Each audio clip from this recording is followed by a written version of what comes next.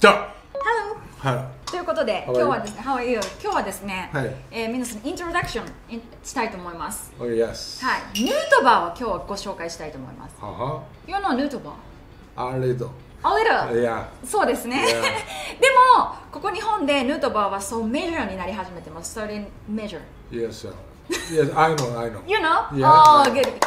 なぜなら、はいえー WBC の日本代表ということはいはい。で選ばれました、はい。で今ヌートバーって一体どんな選手なのか。何者だと？そうなんえなんで選おばれたの？前は何なんだと？あれ？いいきなり。そうなんですよ。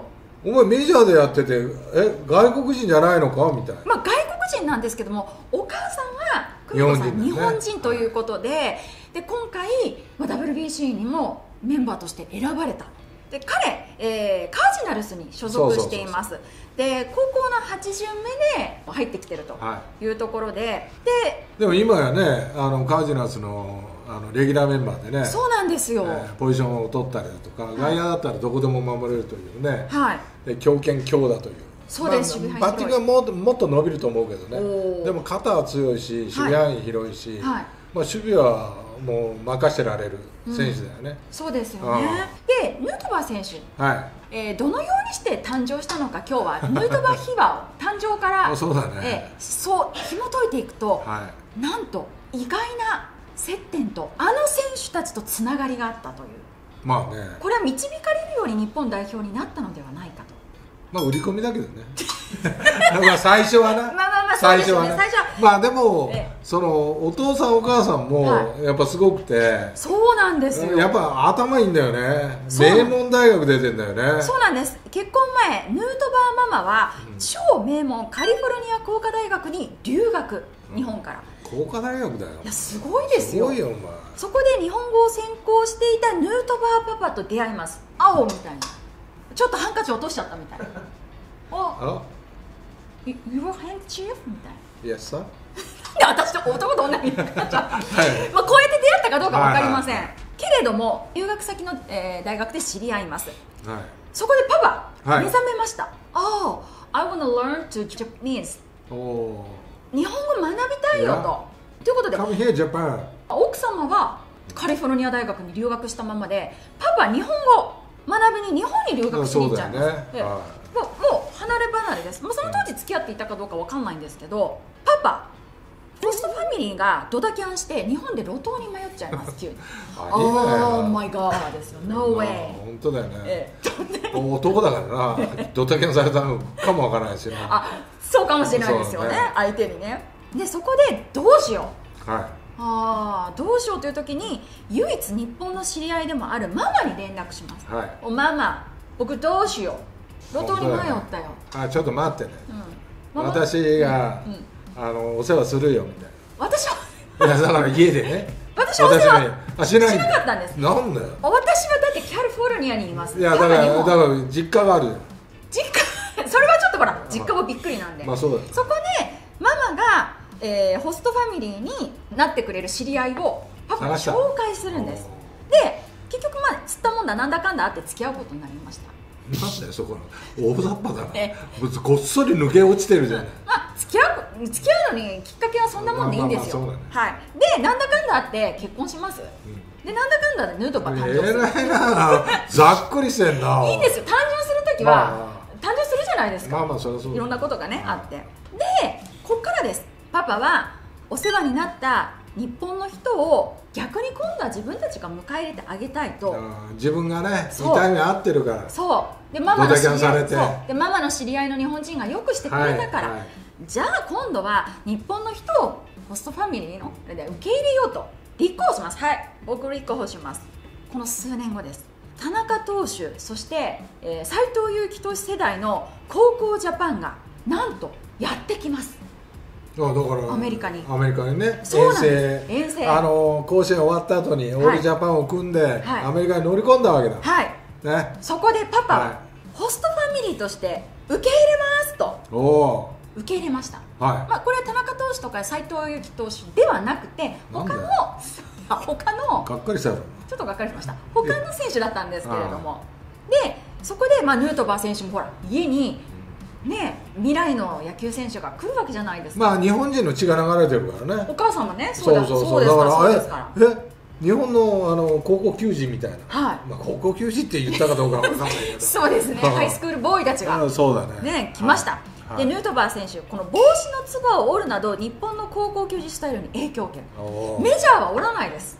みんなニュエのキャップかぶってますけど。いやまあまあそうだけど、はい、ただやっぱつばを折るというのはまあ日本のその影響を受けてはい。で練習にヌートバー選手は参加をしたりバットボーイをしたりチームマスコットにもなっまあ野球やってたんだよね、まあ、じゃあね。そうでしょうね、でなんとその遠征に取材に来ていたのがはい。栗山監そうです。ジャパンの監督、栗山監督栗山監督ははい。当時、今は古田がやってるけど、はい熱湯甲子園はい。かなんかのあの取材をしてたんだよね多分。じゃあだから高校生についてたんだと思テレ朝系列でやってた。う多分ね、それでうん、取材に来ていたと。そうそうでも別にその時にはい。何かねコンタクトを取ったとかそういうわけではないんですよ。全然なもう将来君は全日本に入るよって俺がいやるからみたいなそういうこともないだろうしだってチームマなスコットになってたぐらいですから。そうなんですよでヌートバー選手その時に高校ジャパン全員のサインを書いたジャパンの帽子をもらいます。おもうあのそれ写真もあるんですけど、あの帽子あのキャップのつばの裏のところに全員の名前が書いてあります、でその時でしょうか斎藤佑樹投手だったり田中将大投手と撮った写真もーあるんだ載ってるねんですよ、だからその時からやっぱ縁はあったんだね。あります。うん。でそこで高校代表が帰る時にヌートバー選手号泣僕も日本代表になってみんなと野球するよと。宣言します。だから鳥肌が立つね。そうです。で今ここですよ。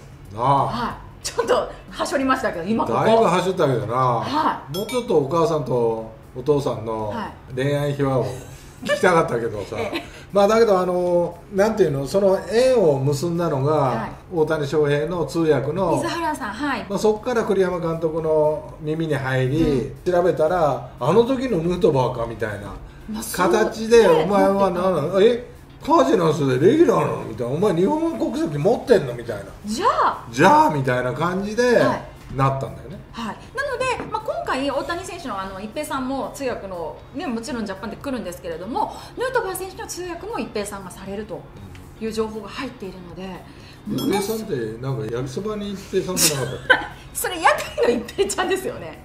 屋台の一平ちゃん。そうだっけ？ええ、あ違う水原の一平ちゃんなのでえそうですそうです、はいはい。どうやら、はい。ヌートバー選手の通訳もするということなんです、まあ、こうあ日本語はできないんだねだちょこっとだけちょこっと多分できると思うお母様がねお母さんね、はい今一生懸命お母さんに、んママに聞いてるかもねまあ、そんなにまああるんですかねいやあるんじゃないの、調整しながらそっかまだ向こうですもんね、という、ね、いや楽しみだよね、はい、ただものすごい苦労人ではないですけどもちろんそのねマイナーからはいはい。あの上がってきてるのでで2020年新型コロナウイルス感染流行で実はマイナーリーグの試合すべてキャンセルされました。その間4ヶ月週6日朝4時に起床してえ航空宇宙企業で肉体労働をヌートバー選手ずっとしていました、彼はその時の経験を自分を謙虚にさせどれほど野球を愛しているか気づかされたと語っていいやますこれこれが賢い証拠だよ、ね、コロナで二度とお前こんなこと起こすなよみたいな、うん。っていうかはい。そのそういう仕事もついて野球ができることに感謝をし野球がどれだけ素晴らしいものかっていうのを感じ取ったわけでしょ。そうなんそこがやっぱすごい。それは俺と違うんだよ。だからあバカでさ野球ばっかりやってて今今になってさなんか世間を知れみたいなことだから。いやいやそんなことそんなことないですけど、はい、ただヌートバー選手、うんこれだけではありません。すごく起業家でもありますね、セントルイスで自分の名前がついたスナックバーなどスナックバーってあのスナックとかバーじゃないですよ。知ってる。これバーでしょ分かってるよ。スナックバー。って。あ分かんないよその。スナックバーなどを売り出すことを念頭に、ヌートバーなど複数の商標を出願しているということで、もう抜かりないです。ここは。やっぱね地頭いいんだよ。嘘だと思います。あお母さんたちは。もう地頭いいもん。もう生まれた瞬間から地頭できてるから。俺はできてないけど。そんなことはないですけど。あ。というヌートバー選手が今回まあ、侍ジャパンのメンバーとしてね。で、まあ、去年は108試合に出場しまして打率が2割2分8厘ホームラン14本打点40というところで豊さん、まあ、ヌートバー選手 YouTube などで、えー、まあまあね映像とか見たけども、はい、まあ冒頭に話したように守備とかそういうものはもう全然問題ないね、うん、あの任せられる。でバッティングの方なんだけど、まあ、2割2分、はい、出塁率が3割4分ぐらいちょっと低いんだけども、まあ、ここら辺は年々成長していく選手だと思うしあのね打ち方がやっぱりいいのよ。あのやっぱり右肩の開きっていうのを抑えようとして打とうとする努力が見えるのね、はい、だからそういった選手っていうのはひとたびこうコツをつかめばいくらでも打てるようになる。だからそういう素材の人だよ、うん、すごく真面目だし、はい、好感持てる。そうですよね。さすが日本人の血が入ってるなという。献身的だもんで夢を叶えましたよね。まあそうだね。一緒に自分も野球をやるんだ、はいはい、それも日本代表のジャパンのそうだよ。ユニフォームとキャップをかぶって。お前これさお母さんの気持ちになってみよお前。もうあの泣いちゃいますよね。いやちょっともうやめようか。泣きそうだ もうもう泣いてます。いやいやこれはねお母さんの気持ちになったすごい親孝行だよですよね。ああだから一回日本に来るでしょ？あもう多分そうですね。そうでしょ、はい、もう呼んでみようかねあれ呼んでみようかね。いや来てくれないかなこれだからインスタグラムで久美子さんおお母様にちょっと DM 送って、はいはい、お母さんっていくつの人なんだな？ちょっといくつでも野球をやらすっていうのは、はい、やっぱりそのお母さんもある程度日本の野球も知ってるはずなんだよね。日本にいた時に日本のプロ野球を見てる可能性は十分ありますよ。可能性あるんだよね。もしかどこ出身なんだ？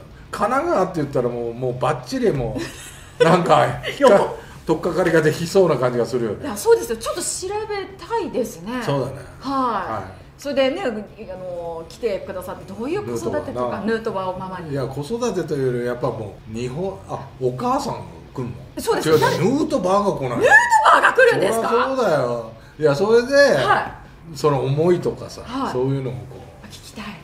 たいな。夢は膨らむけどな。全然叶えられないよね。そうですね。言う,、まあ、言うだけ言ってみると、どっかで伝っていくかもしれない。し、はい、ヌートバー選手みたいにヌートバー選手もやっぱり言って行動を起こしたから今夢が実現してるのでまず言うことですよ。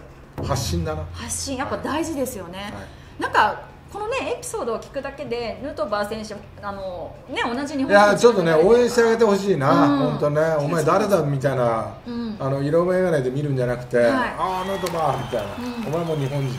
そうですよ、うん。ね、応援したくなりますよね。いや本当だよね。はい。こんなのプチ情報ですけどもこういったことをねエピソードを交えながらまたこの侍ジャパンの戦いを、まあ応援していきたいな、うん、見ると変わってくるかもしれません、はい、ヌートバー応援してます